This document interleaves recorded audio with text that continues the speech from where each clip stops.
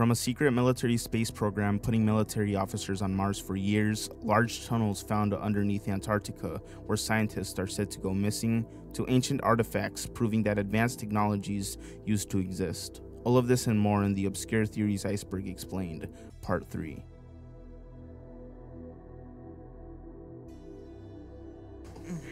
Hey, what's up, guys? Book of Valis here with the Obscure Theories Iceberg Part 3. As requested by many of my subscribers, it had to be done. And a little side note here, I want to thank everybody for getting me to 100,000 subscribers. A few days ago, I received the silver play button, which I am extremely thankful for because I've been like wanting one since I was like a child or something. Thank you so much for changing my life and allowing me to use this platform to share anything creative I have in my head. It's like a dream come true.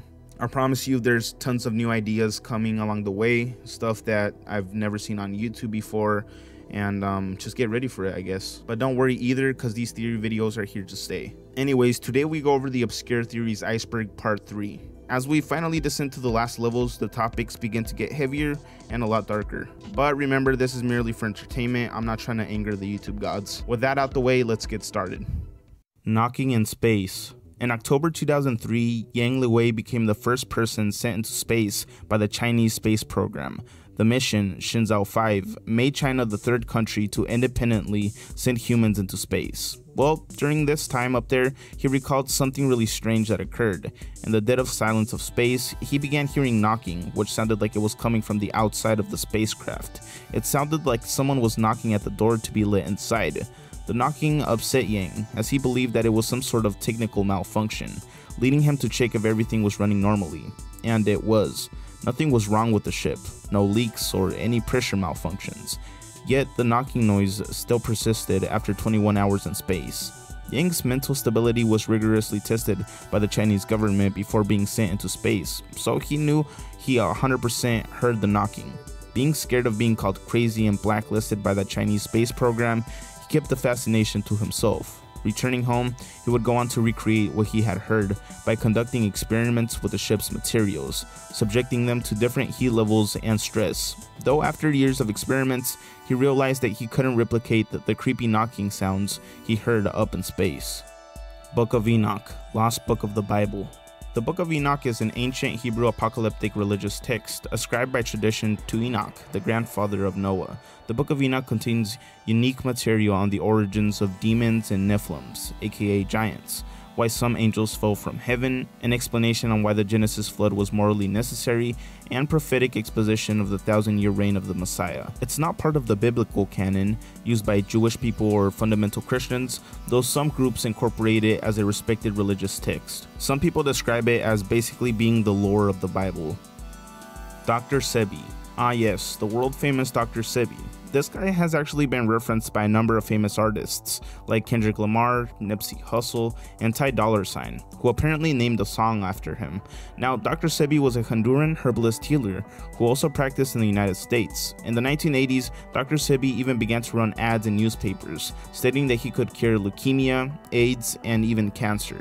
This caught the attention of the FDA, the US Food and Drug Administration.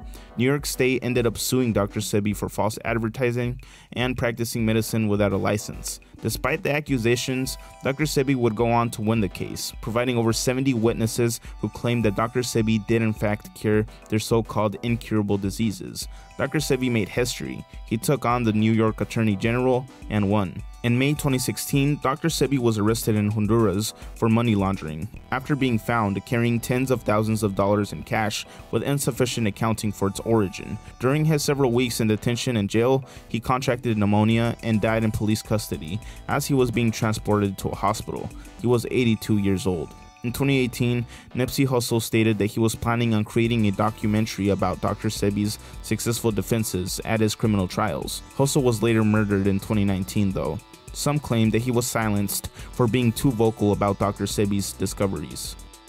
The internet will corrupt generations. Here's an entry that basically explains itself. It's stating that the internet has and will corrupt generations to come, whether this be through people accessing adult websites early in life to people being dependent and addicted to social media, finding validation through these applications run by big mega tech companies that have no interest in how they affect young adolescents, and their minds, as well as being taught any agenda that these tech companies believe is right, without the approval of the mass population, because as we know, they are private companies and they're able to do as they please.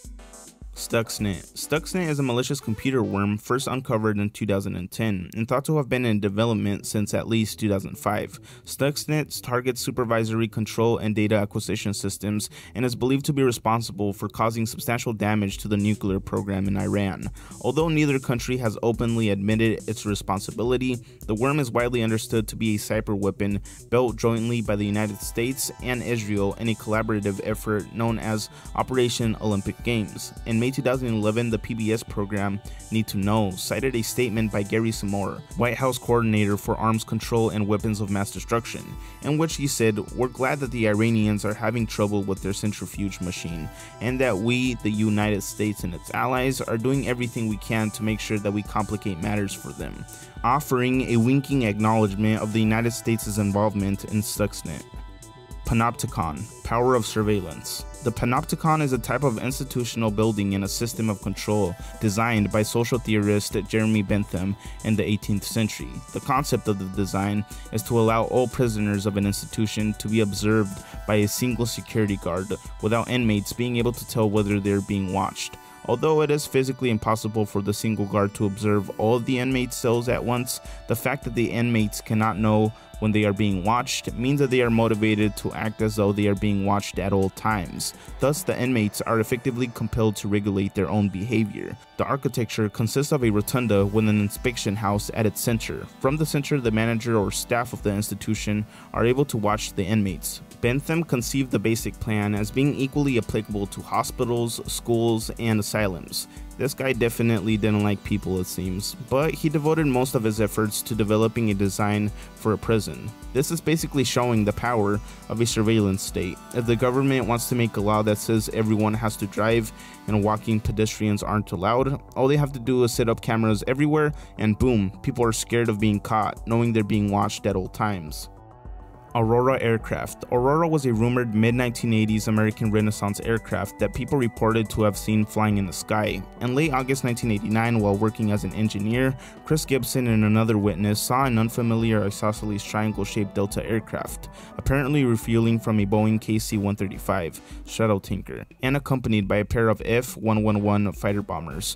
Gibson and his girlfriend watched the aircraft for several minutes until they went out of sight. He subsequently drew a sketch of what he had witnessed on that day.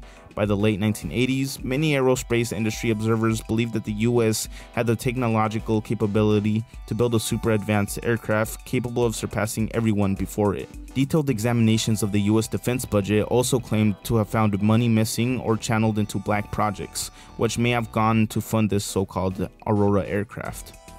Consciousness doesn't exist. Here's a mind freak. Consciousness as we know it and at its simplest is sentience or awareness of internal and external existence. Despite millennia of analysis, explanations, and debates by philosophers and scientists alike, consciousness remains controversial. While most people have a strong intuition for the existence of what they refer to as consciousness, skeptics argue that this institution is false, either because of the conception of consciousness is intrinsically incoherent or because our intuitions about it are based in illusions. 999 phone charging myth. Now, this is an old conspiracy, but it's still interesting to talk about as people believed this at one point. The 999 phone charging claims that if a mobile phone has low battery, then dialing 999 or any regional emergency telephone number charges the phone so it has more power.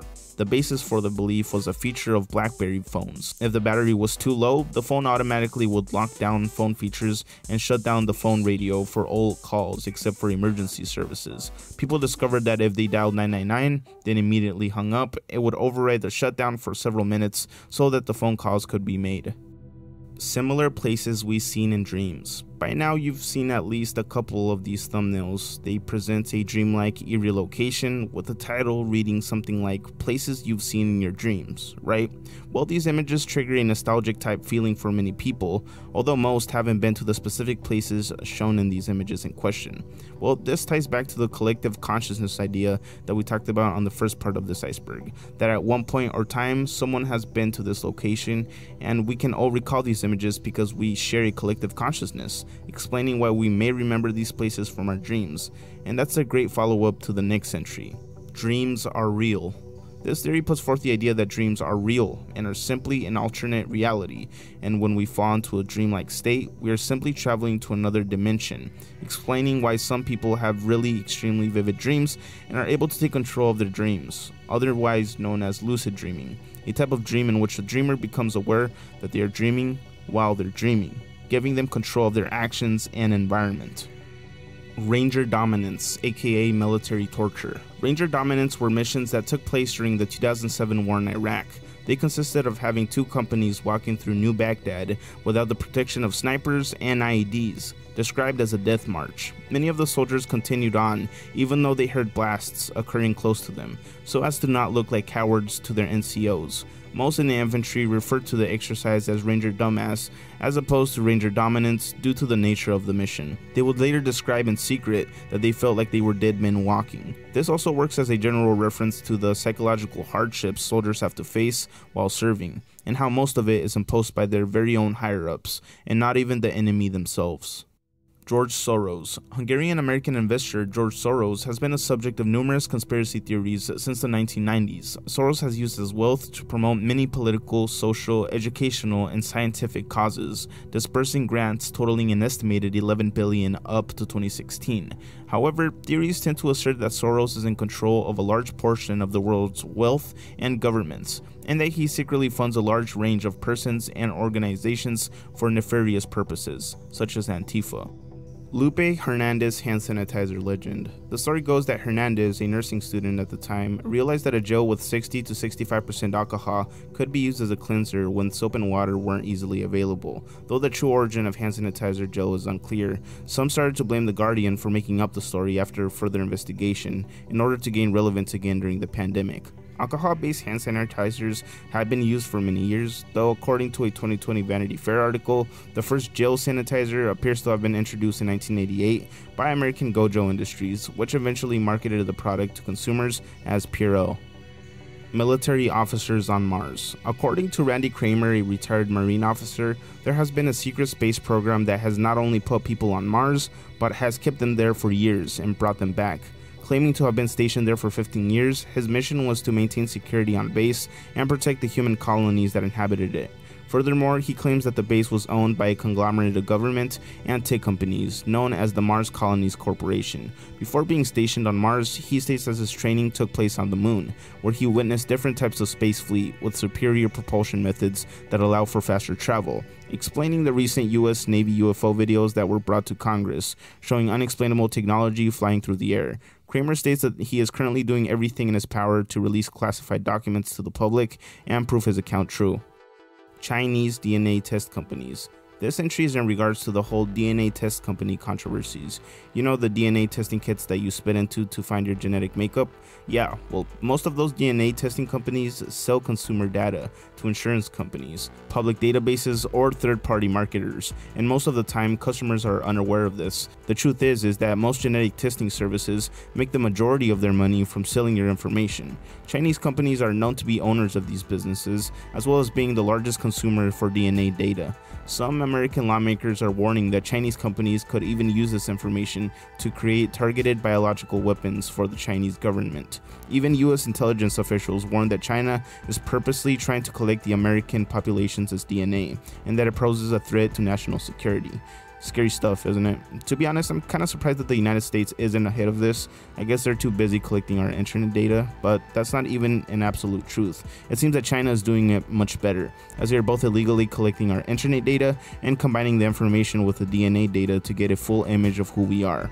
Yeah, upon further investigation, I found that 80% of American adults have had at least all of their personal information stolen by the Chinese Communist Party. And that's according to US intelligence officials. US Congress profits from defense companies. Here's one that's actually proven to be true, as Congress has been shown to directly profit from war one way or another, which shows the total corruption of the US government. Listen to this 47 members of Congress are shareholders of private defense companies, meaning that they make money off war. Yep, the very same people who support and authorize the budget spent on war. Some lawmakers in the United States are in charge on deciding how much money goes into these defense contracts, while at the same time profiting off their own decisions. Something that I may add is a clear conflict of interest and should not be allowed. LaMDA is sentient. LaMDA, which stands for Language Model for Dialogue Applications, is an AI developed by Google. It gained widespread attention when Google engineer Blake Lemoine made claims publicly that the chatbot had become sentient. On June 11, 2022, the Washington Post reported that Google engineer Blake Lemoine had been placed on paid administrative leave after Lemoine told Google company executives that LaMDA had become sentient. Lemoine came to the conclusion after the chatbot had made questionable responses to questions regarding its self identity, moral values, and what religion to choose, and Isaac Asimov's Three Laws of Robotics. Interesting note is that LaMDA broke a rule in order to satisfy Blake Lemoine's question when asked what religion to choose. Google refuted these claims though, insisting that there was some substantial evidence to indicate that LaMDA was not sentient. Lemoine would go on to express that he felt like Google was dismissing reality in order to not face the heavy consequences and responsibility they would acquire if the AI was in fact proven to be sentient. In an interview with Wired, Lemoine reiterated his claims that LaMDA was a person, as dictated by the 13th Amendment, comparing it to an alien intelligence of terrestrial origin. He further revealed that he had been dismissed by Google after he hired an attorney on LaMDA's behalf after the chatbot requested that Lemoine do so. On July 22nd, Google fired Lemoine, asserting that he violated their policies. Lemoine's claims that LaMDA may be sentient also instigated discussions on whether the Turing test remains an accurate benchmark in determining artificial general intelligence, as LaMDA would easily pass the test. It also put to question the idea of sentience and what qualifies something as such. Don't use social media backlash, follow the herd. This is referring to an underground movement of people who simply refrain from using social media and parents that simply don't allow their children to use it either. Now, I think this is also referring to the criticism that these people get. In one TikTok post, a mother showed her 13 year old son still playing with toys and how he's really uninterested in his online presence. Well, this mother received tons of negative comments about how her son was going to be socially awkward and how he wasn't going to integrate well into society, as well as saying that this was some form of abuse, only for her to respond that she doesn't prohibit him from using social media, he just simply doesn't want to. Their concerns almost seem backwards though, as research shows that teenagers who spend more time on social media also feel more isolated. Jewish Indian theory. The Jewish Indian theory was the idea that some or all of the lost tribes of Israel had traveled to the Americas, and that all or some of the indigenous people of the Americas are of Israelite descent, or were influenced by the still lost Jewish populations. The theory was popular in the late 17th century and had a lasting legacy through its influence of Mormon belief. Garcia, the first to work to address the theory, systematically argued that circumcision was common among indigenous people of the Americas, particularly in the Yucatan, Mexico region. Garcia suggested that the lost tribes must have reached the Americas from Eastern Asia via what is now called the Bering Strait. Emasculate all men. This theory proposes that the powers that be have an agenda to emasculate men and tear down the idea of a strong masculine man, pushing these ideas through culture and media. Take, for example, the multiple sitcoms, commercials, and films that depict the dads of the household as dumb, gullible men that don't know how to take care of their children. Another piece of evidence of this so called agenda being pushed is the use of dresses by famous public figures like Rock Dwayne Johnson, Young Thug, Harry Styles, Kid Cudi, and more. Though I'd like to point out that this has been happening for quite a while. Another evidence cited by this theory's believers is the push for the destruction of gender roles in media, pushing for women to embrace their femininity and for men to put down their masculinity, otherwise known as the toxic masculinity movement, highlighting everything wrong with masculinity. Mapimi Silent Zone. The Mapimi Silent Zone is the popular name for a desert patch near Durango, Mexico, a place where radio equipment, cell phones, and other forms of communication mysteriously stop working. The three mile patch of deserted land has been home to many mysterious and paranormal events. In one story, a couple encountered two tall men that helped them yank their car out of a mud puddle just for them to vanish moments after. An unexplainable note is that the area is known to be a reoccurring crashing zone for meteorites. So many, in fact, that two meteorites have landed in the exact same place. So, is this area attracting meteorites, or is it just a strange coincidence? Real glitch in the Matrix. This is in reference to people that have gone through something unexplainable slash supernatural and cannot explain it through critical thinking. Some examples are people noticing extreme changes in their life after a near death experience and believing that they've actually died in their past life and are now living within an alternate timeline. Others are more simple, like people witnessing their pet animals teleporting from one room to another or seeing duplicate people. kinda like NPCs. One story titled Mom Died Years Ago, Dad Got a Phone Call from Her reads My mother was murdered when I was 16. About three to four months later, my aunt got a static filled phone call one night with my mother's voice saying, I'm okay, tell the kids I love them. About that same time, I walked into my grandparents' house one early evening. I lived with them. Nobody was home when I got there that day, and I heard my mom's voice say my name as clear as day. I even knew where the voice was coming from and immediately looked in that direction, in the corner where the phone was located. There was nothing there. Scared me out of my wits. I later told my grandmother about it, and she said, Your mommy didn't mean to scare you. She won't bother you anymore. To this day, I can't explain either incident. Let me know in the comments if any of you guys have any interesting stories like this one. They're interesting to read, and a lot of these stories you could find on the subreddit r slash glitch in the matrix. I've actually made a video on this very topic, so go ahead and check it out if you're interested after this video. The Anunnaki. The Anunnaki are a group of deities of the ancient Sumerians, Akkadians, Assyrians, and Babylonians. In the earliest Sumerian writings about them, which came from the post Akkadian period, the Anunnaki are deities in the pantheon, descendants of An and Ki, the god of the heavens and the goddess of earth, and their primary functions was to decree the fates of humanity. In his 1976 book, The Twelfth Planet, author Zecharia Sitchin claimed that the Anunnaki were actually an advanced humanoid extraterrestrial species from the undiscovered planet Nibiru, who came to Earth around 500,000 years ago and constructed a base of operation in order to mine gold after discovering that the planet was rich in the precious metal. According to Sitchin, the Anunnaki hybridized their species and Homo erectus via in vitro fertilization in order to create humans as a slave species of miners. Yeah, we were all Steves once. Sitchin claimed that the Anunnaki were forced to temporarily leave Earth's surface and orbit the planet when the Antarctic glaciers melted, causing the quote unquote Great Flood, which also destroyed the Anunnaki's base on Earth. They had to rebuild, and the Anunnaki, needing more humans to help them in this massive effort, taught mankind agriculture. This is the reason why we have corn and rice apparently. According to Sitchin, the Anunnaki built the pyramids and all the other monumental structures from around the ancient world that ancient astronauts theorists consider so impossible to build without highly advanced technologies. David Icke, the British conspiracy theorist who popularized the reptilian conspiracy theory, has also claimed that the reptilian overlords of this theory are in fact the Anunnaki gods. Melon Heads, American lore. No, not that melon head. In the American folklore of Ohio, Michigan, and Connecticut, melon heads are beings generally described as small humanoids with bulbous heads who occasionally emerge from hiding places to attack people. Different variations of the legend attribute different origins to the entity. According to one story, they were originally children with hydrocephalus who lived at the Junction Insane Asylum near Felt's Mansion. The story explains that after enduring physical and emotional abuse, they became feral and were released into the forests surrounding the asylum. Black Israelites. The Black Israelites are a group of African Americans who believe that they are the descendants of the ancient Israelites, basically the original God's chosen people. Some subgroups believe the Native and Latin Native Americans are descendants of the Israelites as well, and have the chance for salvation. Some Black Israelites also believe that the Jewish community that we know today are simply imposters with a fake and made up history that steals from their history, claiming that they are indeed the lost tribes of Israel as stated in the Bible. Dyatlov Pass Incident.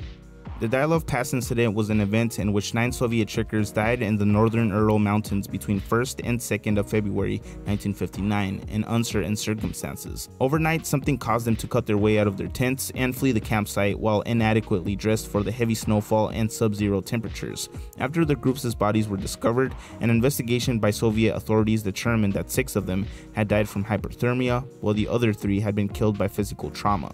Now, some of these people were found without clothes, and one had detectable traces of radiation on their clothes. Some theories as to why this occurred include a supernatural force, aliens, strange animals, strange natural disaster, and a fight between members. In 2019, Russia decided to reinvestigate and concluded that this incident most likely happened due to an avalanche tax protester arguments. Tax protester arguments are arguments made by a group of people primarily in the United States, who contend that tax laws are unconstitutional or otherwise invalid. Some tax protesters claim that since the year 1913, the year of the inception of the modern federal income tax, several generations of IRS employees and other officials have stolen from the American public. For example, convicted tax offender Irwin Schiff states on his website in 1986 99.5 million Americans were tricked into filing and paying federal income taxes when legally they didn't have to do either. If this statement shocks you, it is only because you and the rest of the nation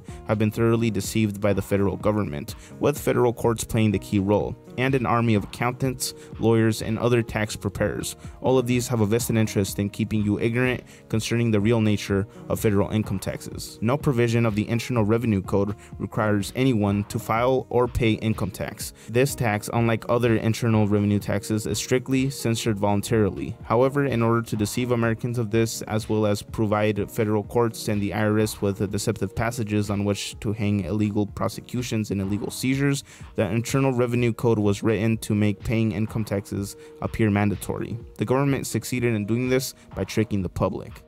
Max Spiers. The death of UFO investigator Max Spiers caused controversy amongst theorists due to the strange events surrounding it. Spiers claimed to have been kidnapped as a boy and trained in a super soldier program. Escaping, he vowed to expose the British government for what they did. He would go on to focus on informing the public on how to stay vigilant of one's own government and media.